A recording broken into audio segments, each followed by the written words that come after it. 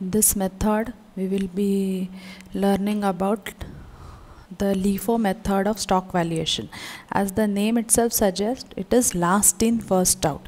So as explained earlier, the valuation of stock, whatever method we choose for valuation of stock need not be same as the physical movement of stock. Okay, for example, here though the actual issues may be made out of the earliest lot on hand to prevent unnecessary deterioration in the value, it is sometimes assumed that the issue is to be valued at the price which is paid for the latest consignment on the hand okay in the LIFO method. So what happens? The closing stock then is assumed to consist of the earlier consignment. Okay so so I will give you an example. Say suppose um, on 2nd Jan there is a purchases of uh, some 500 units at the price of rupees 5 per unit. Okay per unit price and then on 4 Jan there is again some purchases of 400 units at the rate of say rupees 3 per unit. Now there is some issue. Issue of goods on 5th Jan. Let's say 300 units are to be issued. So this 300 units which are to be issued should be valued at the latest consignment that is at rupees 3 per unit. So the total issue value of issues will be 900 so the stock as on 5th Jan will be 500 into 5 and out of this 400 300 are issued. So 100 into 3 so this is 300 and this is 1500 so total stock is 1800 as per LIFO method. Now LIFO method is opposite of the FIFO method. That is first in first out method. Okay. So although the physical quantity may be issued from this 500 units okay it's not necessary that physically stock is issued from this 400 units. But for the purpose of valuing we are using the LIFO method. That is we are valuing the stock at the rate of latest consignment. Okay? We are valuing the issues stock issued at the price of the latest consignment. Okay? Now we'll see one example on LIFO method. Now this is an example which we are considering for the purpose of valuing stock as per LIFO method. This is the same example which we had taken for the FIFO method. So for better understanding, we have taken the same example. A manufacturer has a following record of purchases of condensers which he uses while manufacturing radio sets. So this is a stock of raw material since it is used for manufacturing radio sets. Then he has given the date, quantity and price per units of all the purchases. Then subsequently issues were made as follows. So details of issues are given. These are issued for production. So date and quantity. So calculate the value of closing stock as per LIFO method. So let's begin. Okay statement showing valuations of stock as per LIFO method. So first transaction is on December 4 so on December 4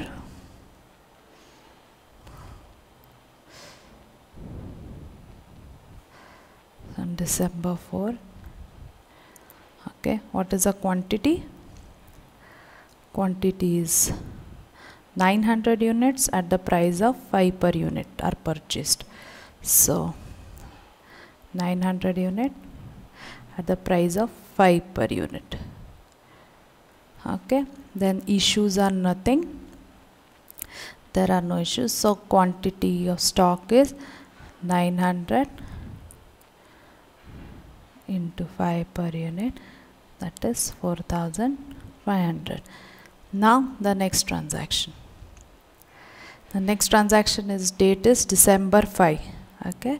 So December 5 600 quantities are issued for the purpose of production. So issues December 5 600 quantities are issued for the purpose of production. So the latest, there is only one purchases. So latest stock value is mm, rupees 5 per unit so out of this 900 600 are being issued for the purpose of production so balance stock as on december 5 is 300 into 5 1500 okay. Now the next. December 10 okay. December 10 400 were purchased at the rate of 5.5 december 10 so i'll put it here. December 10 400 were purchased at the rate of 5.50 correct. So there are no issues on december 10 so stock as on december 10 will be this carry forward that is 300 into 5 1500 and this 400 into 5.50 so that comes to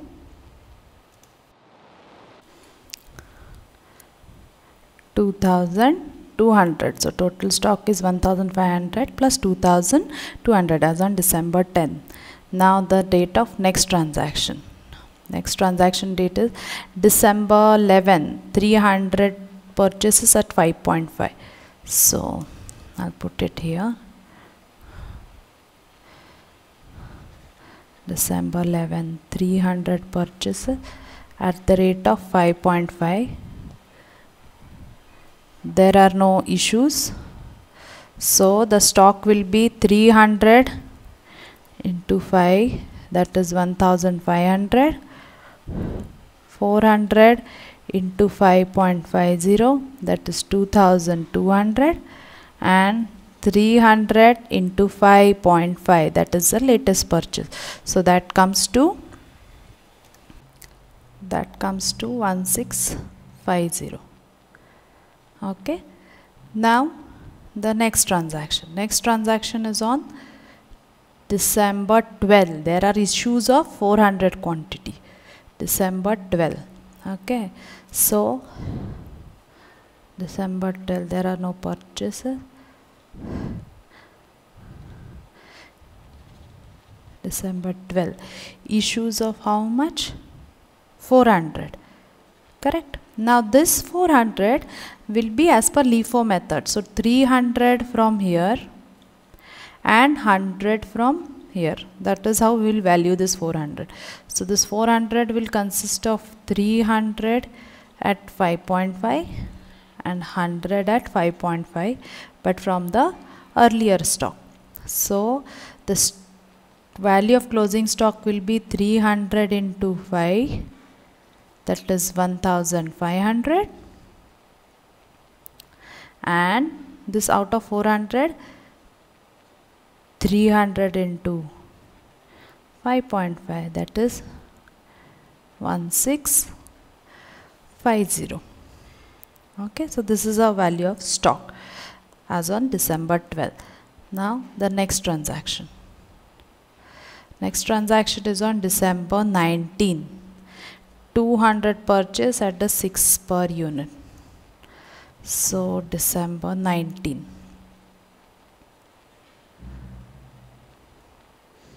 200 at the rate of 6 there is no issues on that date.